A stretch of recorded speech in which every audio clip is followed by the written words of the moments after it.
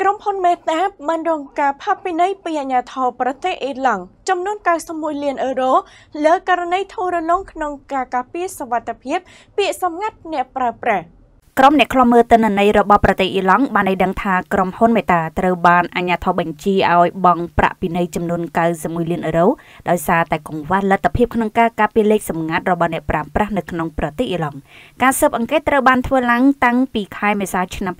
2019បន្ទាប់ពីរកឃើញថាក្រុមហ៊ុនបច្ចេកវិទ្យាអាមេរិកនេះបានរក្សាទុកពាក្យសម្ងាត់របស់អ្នកប្រើប្រាស់ជាលក្ខណៈធម្មតាដោយមិនបាន encryption សហភាពអឺរ៉ុបបានប្រមានដល់មេតានិងក្រុមហ៊ុនបច្ចេកវិទ្យាផ្សេងផ្សេងដែលប្រើប្រាស់ទិន្នន័យផ្ទាល់ខ្លួនរបស់អតិថិជនក្នុងការផ្សព្វផ្សាយពាណិជ្ជកម្មហើយក៏បានចាប់ផ្ដើមអនុវត្តបទបញ្ញត្តិនោះផងដែរដើម្បីការពារទិន្នន័យឯកជនរបស់អ្នកប្រើប្រាស់លោកក្រហាមដលមន្ត្រីជាន់ខ្ពស់មកពីអាជ្ញាធរការពារទិន្នន័យអ៊ីឡង់បានឲ្យដឹងថាទិន្នន័យឯកជនរបស់អ្នកប្រើប្រាស់គឺជាទិន្នន័យដ៏រសើបដូច្នេះត្រូវរក្សាទុកវាឲ្យសុវត្ថិភាពបំផុតជាពិសេសគឺពាក្យសម្ងាត់នេះឯងមេតាមិនគួររក្សាទុកវាជាលក្ខណៈធម្មតានោះទេនាយកតកអ៊ីឡង់បានដាក់សេចក្តីព្រៀងសម្រេចទៅកាន់អាជ្ញាធរត្រួតពិនិត្យជារបស់សហភាពអឺរ៉ុបកាលពីខែមិថុនាឆ្នាំ